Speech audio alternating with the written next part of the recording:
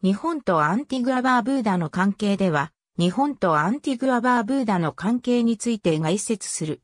1981年11月1日にアンティグアバーブーダはイギリスから独立すると、同月6日には日本はこれを承認。およそ1年後の1982年10月4には外交関係が樹立した。1984年より日本側はザイトリニダード・トバゴ日本国大使館が同国を兼轄している。一方、アンティグアバーブーダ側は大使館を未設置。ただし1997年5月に在東京アンティグアバーブーダ名誉領事館を設置して、1997年7月より駐日大使を任命した。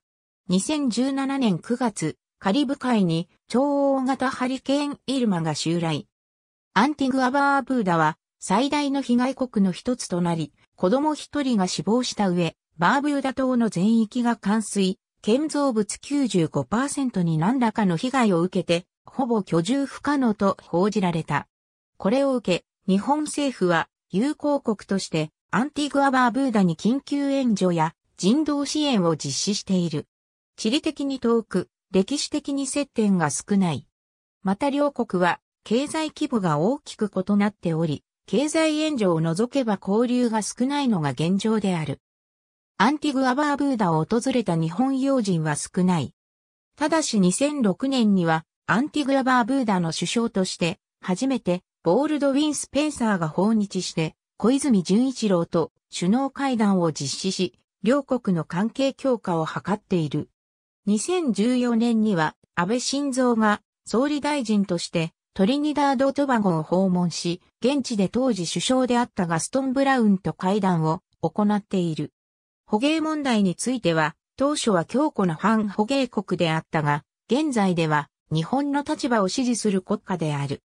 経済面では、ガストン・ブラウンは日本のアベノミクスを真似て、経済活性化政策、ガストノミクスを推し進めている。